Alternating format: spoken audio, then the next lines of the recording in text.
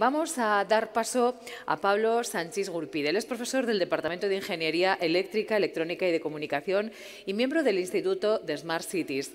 Es director de la Cátedra de Energías Renovables y responsable del Grupo de Investigación INGEPER.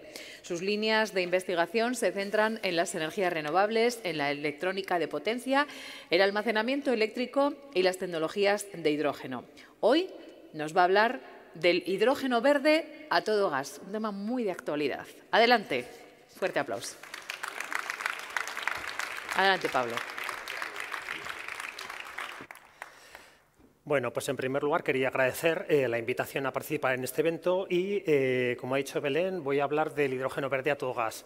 No voy a contar un proyecto en sí, un proyecto específico, porque lo que me interesa es un poco transmitiros que el hidrógeno va a jugar ahora sí un papel importante en lo que va a ser la transición energética y que luego podáis ver de qué manera la UNA puede contribuir a todo ello.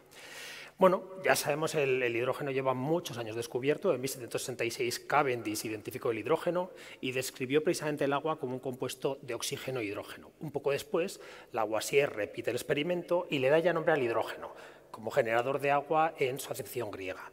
Es el primer elemento de la tabla periódica, el elemento más sencillo. Cada átomo contiene un protón y un electrón. Es, por tanto, también el elemento más ligero. Sin embargo, es un combustible especialmente bueno porque contiene la mayor energía por unidad de masa de todos los combustibles. Es verdad que hay que tratarlo con cuidado porque tiene un amplio rango de inflamabilidad y una baja energía para su ignición. Ya sabemos que es incoloro, inodoro, insípido y no es tóxico es el elemento más abundante del universo. Prácticamente el 75% de la masa del universo es hidrógeno. El problema que tenemos, y es el caso de la Tierra, que no lo tenemos en estado puro. Por lo tanto, lo tenemos que obtener de otros elementos. Por tanto, el hidrógeno en sí no se considera una fuente de energía primaria, sino que hablamos de un vector energético que permite almacenar energía y posteriormente liberarla en las aplicaciones correspondientes. Bueno, hoy en día ya hay una incipiente economía del hidrógeno, ya se produce hidrógeno. En las últimas estadísticas, las del 2020, el hidrógeno se producía básicamente con gas natural. Se producía con gas natural un 59%. También como subproducto de otros procesos químicos en un 21%, proveniente del carbón en 19% y ya en mucha menor magnitud proveniente del petróleo o de otras eh, aplicaciones. Todo esto eh, con el objeto de que el hidrógeno eh, sea un, juegue un papel importante en la nueva transición energética hacia un mundo renovable y sostenible, ha hecho necesario definir distintos tipos de, hidrógeno que se conocen habitualmente por el color eh, con el que se representan. Estos son los tres colores principales que se utilizan para definir el hidrógeno. Se habla de hidrógeno gris, de hidrógeno azul y de hidrógeno verde. Los dos primeros, el gris y el azul, eh, son eh, hidrógenos que se producen con combustibles fósiles, en ambos casos. La diferencia es que en el caso del hidrógeno azul se produce además un proceso de captura del CO2. En el caso del hidrógeno gris no está ese proceso y, por tanto, el proceso de producción del hidrógeno genera eh, muchas emisiones. Como tenéis ahí, las emisiones pueden llegar a 20 kilogramos de CO2 equivalente por kilo de hidrógeno producido. El hidrógeno azul, como captura CO2, consigue unas emisiones notoriamente menores, pero no en ningún, en ningún, caso son cero. El hidrógeno verde es el único que podemos considerar totalmente renovable. Es un hidrógeno producido por electrolisis, proveniente, con electricidad proveniente de energía renovable y en ese contexto la generación de, CO2 eh, en su producción es nula.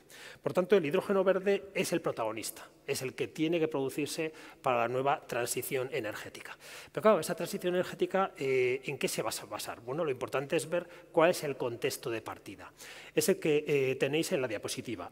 Esa es la energía final consumida por uso a nivel mundial. Es decir, el 51% de la energía que consumimos a nivel mundial está relacionada con procesos de calor y frío. Procesos de calor y frío que pueden ser de climatización o asociados a procesos industriales. El 32% está asociada a aplicaciones de transporte y el 17% está asociada a eh, procesos relacionados con la potencia eléctrica, con la electrificación y las aplicaciones correspondientes. Veis en pequeñito en cada uno de esos eh, rectángulos, veis la parte que está generada hoy en día con energías renovables. Y veis que es muy poco en, las tres, eh, en, las tres, partes. Es verdad que es un poco más en la parte de aplicaciones de potencia eléctrica, por razones obvias, es poco en el transporte y es también poco en los procesos de calor y frío. Con objeto de analizar de qué manera el hidrógeno puede contribuir a esta transición energética, es importante ver de qué manera cada una de estas aplicaciones se llevan a cabo en los distintos sectores. Sectores que estamos hablando, por ejemplo, del sector de la industria, de sectores eh, que se asocian a consumos en edificios, dentro, por ejemplo, del sector doméstico, oficinas y comercio, y también del sector del transporte. En el caso del transporte, eh, la transición está muy clara. Veis en estas gráficas, vais a ver siempre dos columnas, como no puedo marcar con el puntero, os lo digo de, viva voz, vais a ver siempre dos columnas. La columna de la izquierda son datos del 2019 y es los eh, combustibles o vectores energéticos que se han usado para ese sector. Y al lado hay una columna en la que pone abajo 2050, por si no lo leéis, y pone 2050 1.5, o sea, 1,5 grados centígrados escenario. Ese es el escenario que utilizan eh, todos los organismos internacionales para definir un escenario futuro energético en 2050 que garantice que la temperatura del media del planeta no haya aumentado más de 1,5 grados sobre la temperatura media de la época preindustrial. Por tanto, es el objetivo eh, a, partir del cual cuelgan todos los planes de fomento de energías renovables y transiciones energéticas de los distintos países. Bueno, pues en el caso del transporte, veis en la columna del 2019, la columna de la izquierda prácticamente negra. ¿Por qué? Porque el combustible que se utiliza, como todos sabemos, es el petróleo, derivados del petróleo. ¿Cuál es la previsión a 2050? Obviamente aquí no hay nada que, no sepáis. La previsión es que se utilice masivamente el vehículo eléctrico y, por tanto, en el 2050 la mayor parte de esa, eh, de gráfica es amarilla, porque es la que representa el consumo de electricidad. También, un poco más abajo, en un verde un poco más oscuro, aparecen los combustibles, los biocombustibles. El hidrógeno, que aparece en, en verde clarito prácticamente arriba, va a tener un papel importante, pero cuidado, probablemente no sea un papel importante en los vehículos particulares. Se prevé que el hidrógeno en el sector del transporte eh, se integre o sea el combustible que se utilice básicamente en transporte pesado de larga distancia, en eh, propulsar trenes que están en vías no electrificadas, en eh, transporte marítimo, también a larga distancia, e incluso en aviones. ¿Va a jugar un cierto papel? Sí, ¿Va a ser importante? Bueno, parcialmente. Estamos hablando tal vez de un 10-15% de la energía total consumida en el 2050 del sector del transporte, que a su vez, por la mayor eficiencia de todos estos procesos energéticos, va a reducir el consumo energético. Con lo cual, el hidrógeno apoyará que el sector del transporte se vuelva cada vez más renovable en una pequeña parte, ¿vale? no va a competir con el vehículo eléctrico, pero sí que alcanzaremos unos porcentajes importantes de renovables de hasta el 82%. En el caso de los edificios tenéis el análisis a la derecha. Veis que en el caso de los edificios, en el 2019 el consumo aparece ahí en amarillo la mayor parte, que es consumo eléctrico, y aparece abajo dos tonos grises, bueno, un gris y uno casi negro. los tonos grises y casi negros el consumo de gas, ¿vale? de gas natural y el consumo de petróleo son los elementos fundamentales con los cuales se climatizan en estos momentos los edificios. Por tanto, los edificios consumen ahora mismo básicamente electricidad y combustibles fósiles para su climatización. La transición energética de los edificios probablemente se va a dar con tecnologías asociadas a las bombas de calor, entre otras. Es decir, probablemente los procesos energéticos que ocurren en edificios progresivamente se irán electrificando no solo para las aplicaciones que actualmente ya están electrificadas en los edificios, sino también para las aplicaciones de calor y frío. Como consecuencia, veis que en el caso de los edificios, la columna de la derecha para 2050 prácticamente es amarilla porque prácticamente va a ser un consumo eléctrico eh, eh, el que va a generar la energía necesaria en los edificios. Y el porcentaje de renovables se espera que alcance el 89%. En los edificios el hidrógeno va a tener poco papel.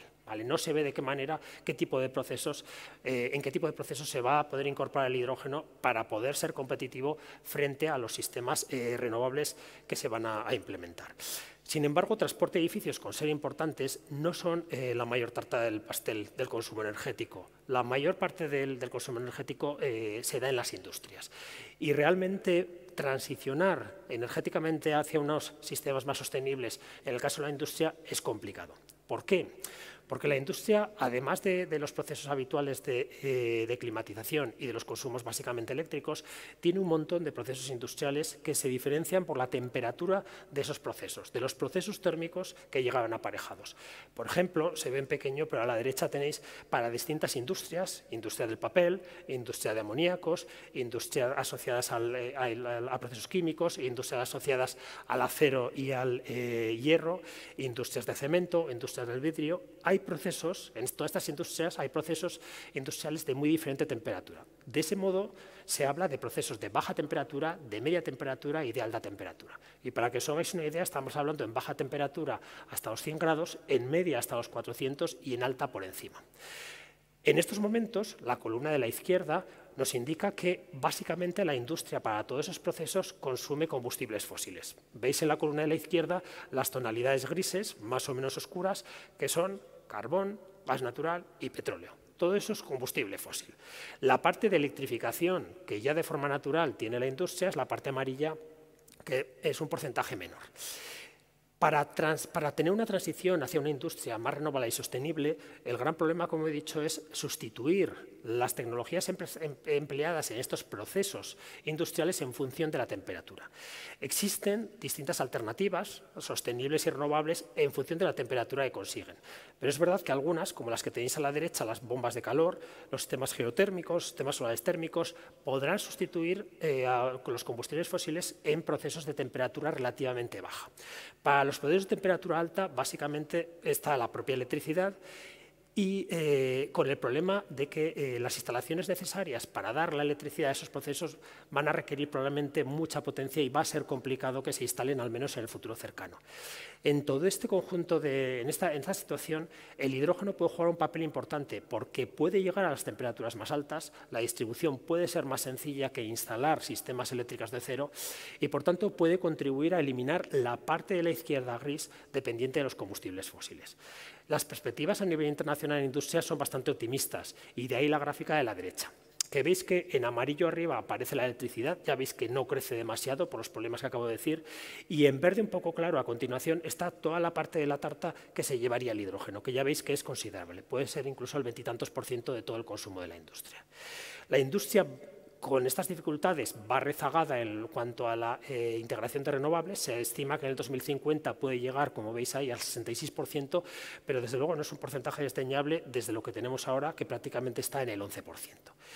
Con todo ello, la previsión para el 2050 a nivel de combustibles utilizados es la que tenéis aquí.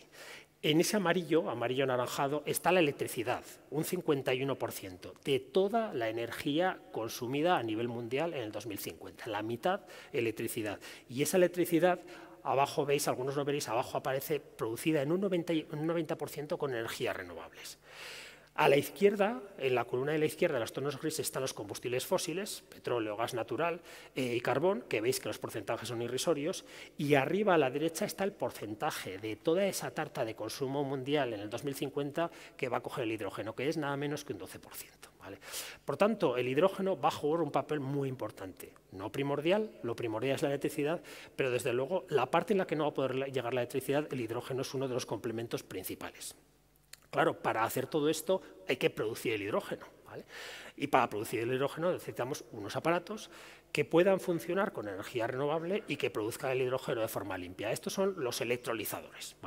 Un electrolizador al final genera hidrógeno, disocia la molécula de agua, genera hidrógeno y oxígeno a partir de energía eléctrica. La tecnología de electrolizadores tampoco, sobre todo algunas tecnologías, no es que tenga nada nuevo. Están mejorando los desarrollos tecnológicos, pero es conocida desde hace años. Es el caso de la tecnología alcalina. Los electrolizadores alcalinos son los más conocidos, son hoy en día los más empleados y en un futuro próximo se cree que van a ser los, más eh, vendidos. Pero le sigue muy cerca la tecnología PEM, la de membrana polimérica, que es una tecnología que puede eh, depararnos eh, aspectos positivos en el futuro. Y finalmente hay otras tecnologías, como la que aparece abajo a la izquierda, como la tecnología SOE, que es una tecnología en investigación que también puede tener su campo en el futuro. Lo importante es ver los costes de, esta tecnología, de estas tecnologías de cara al futuro, que es la gráfica que tenéis a la derecha, que es realmente muy interesante. Fijaos, en, esta, en la gráfica a la derecha hay dos zonas. Hay dos curvas arriba, la marrón y la amarilla, bueno, anaranjada, y abajo dos curvas en verde. La diferencia entre las curvas de arriba y las curvas de abajo es el precio de la electricidad. En las curvas de arriba el precio de la electricidad se ha tomado como 65 dólares el megavatio hora y en las de abajo 20 dólares el megavatio hora. El eje horizontal son los años. El eje horizontal va de 2020 a 2050 y el eje vertical es precisamente el coste de un kilo de hidrógeno, de un kilo de hidrógeno producido. Como podemos ver, con el paso de los años las curvas descienden, pero en el caso de, las curvas de la zona verde tenemos que con electricidad barata entra en una zona grisácea, que es precisamente la zona en la que eh, se mueve el precio de los combustibles fósiles. Dicho de otra manera, si la producción de hidrógeno entra en un rango aproximadamente, como veis ahí, de uno y pico, dos y pico dólares el kilogramo de hidrógeno, el hidrógeno ya será competitivo con los combustibles fósiles. Y el hidrógeno es un combustible. No estamos hablando de almacenar electricidad en un sitio, unas baterías, no estamos hablando de un bombeo, de no sé qué. No, el hidrógeno ya es un combustible y sirve en ese caso para todos los procesos anteriores. Por lo tanto, estamos muy, muy cerca, ¿vale? con precios de la electricidad bajos, de 20 dólares el megavatio hora. Con precios altos es más complicado. Entonces, la duda es, ¿tenemos esos precios Claro, el sentido de todo esto es producir el hidrógeno con renovables, por supuesto, si no, no hemos dicho que no sería un hidrógeno verde. Las renovables, básicamente, tenemos la eólica y la fotovoltaica, ya producen a precios cercanos a los 20 dólares o 20 euros el megavatio hora.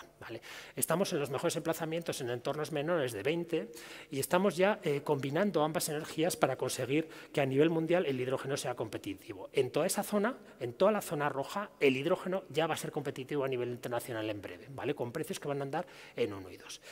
Y por tanto, concluyendo, tenemos un sistema en el que el hidrógeno va a jugar un papel principal, fundamental, producido por energías renovables a través de electrolizadores distribuido en sistemas de transporte avanzado y utilizado a nivel final en un montón de aplicaciones. La UPNA está en muchas de estas áreas. Tenemos gente de los de, departamentos de ingeniería química, de grupos de ingeniería eléctrica, electrónica y comunicaciones, gente de economía y todos ellos trabajando en distintas áreas del hidrógeno. En todo esto, unido de la, mano de las energías renovables, Navarra además puede ser una potencia a corto plazo, porque conoce las renovables, conoce cómo emplearlas y a partir de ahí producir el hidrógeno es prácticamente inmediato. Bueno, muchas gracias por la atención y espero que os haya gustado.